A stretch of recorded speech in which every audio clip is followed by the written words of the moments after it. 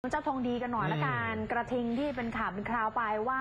เออมันบาดเจ็บ ครับแล้วมันก็ไปออกมาจากป่านะครับ นะคะ แล้วก็มาอาศัยอยู่ในพื้นที่ของชาวบ้าน นี่ตัวนี้ เออ นี่ละค่ะ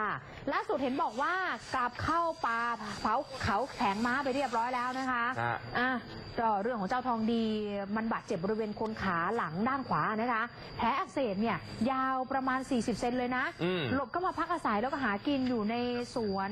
ไผ่ลุงโชคนะคะ ตรงบ้านคลองทุเรียนที่ตำบลวาน้ำเขียวที่นครราชสีมาแล้วค่ะ ครับก็ตั้งแต่วันที่ 5 พฤษภาคมละ อาการบาดเจ็บเนี่ยคือเจ้าหน้าที่ก็บอกว่าเป็นไปได้ มาจากการต่อสู้แย่งพื้นที่กันของกระทิงด้วยกันเองนี่แหละเออหรือว่าอาจจะถูกหมาเนี่ยไล่กัดเอาของชาวบ้าน ก็ทิ้งถูกหมากัดเลยเหรอ อันนี้ก็ไม่รู้นะอาจจะรู้ไหมล่ะคุณเบ้นเป็นไปได้นะ เออเออเออ ทีนี้ล่าสุดค่ะ ผู้ประสานงานกลุ่มอนุรักษ์เขาแผงม้า คุณบริพัตรสินทรเปิดเผยถึงเจ้าทองดีแบบนี้ว่า คือช่วงเช้าของ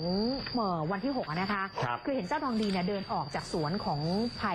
ลุงโชคละของชาวบ้านนี่แหละค่ะ แล้วก็กลับเข้าไปหากินใกล้ๆกับแนวเขตห้ามล่าสัตว์ป่าเขาแผงม้าอืมห่างออกไปสักประมาณ 3 กิโลได้ แต่ทีนี้เนี่ยคือสัตวแพทย์เนี่ยพยายามจะเข้าไปรักษาอาการบาดเจ็บให้มันครับแต่ไม่ทันจะได้เข้าไปช่วยเหลือหรอกมันก็เดินกลับเข้าไป เขาบอกว่าเจ้าทองดีเนี่ยเป็นกระทิงที่ ชอบค่ะ มีนิสัยมีความเป็นอิสระ อยากจะออกจากเขตแนวป่าออกมาตลอดเลไม่ย ไม่อยากอยู่กับฝูเอง อ ออกมาหากินตามสวนของชาวบ้านแล้วก็เออ ชอบเออมาที่สวนของชาวบ้านเป็นด้วย กระทิงอินดี้ ใช่ เออแล้วก็ปบระอมาณกนั้ว่าน ตอนเนี้ยมันกลายเป็นที่คุ้นเคยของชาวบ้าน แล้วกลายเป็นว่าชาวบ้านก็รักมันจะด้วยสิ ครับ อะสาเหตุที่เจ้าทองดีออกมาจากป่าเขาบอกว่า เพราะว่ามันอิสระนะ แล้วก็อืมมีอาหารให้กินเยอะแยะด้วย แล้วก็ทางเจ้าหน้าที่แล้วก็ชาวบ้านก็จะมาคอยต้อนรับ แล้วก็คอยดูแลมันเนี่ยแล้วก็พยายามจะผลักดันมันนะคะ ครับ ให้กลับเข้าป่าไป ทีนี้เจ้าหน้าที่เขาก็เลยทางกลุ่มของอนุรักษ์เขาแผงม้าเขาแจ้งมาแบบนี้นะคุณผู้ชม